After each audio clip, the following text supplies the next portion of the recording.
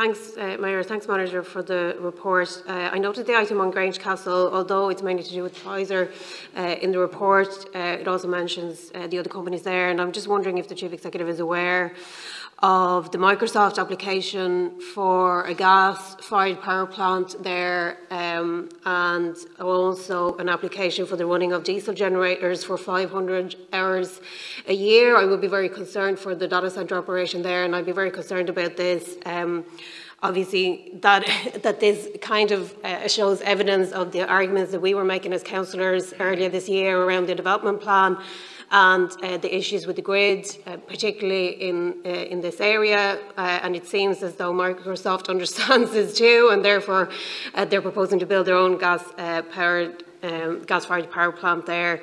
Um, and obviously, um, the Minister gave a direction to remove uh, the moratorium that we had put in the plan, which is very disappointing.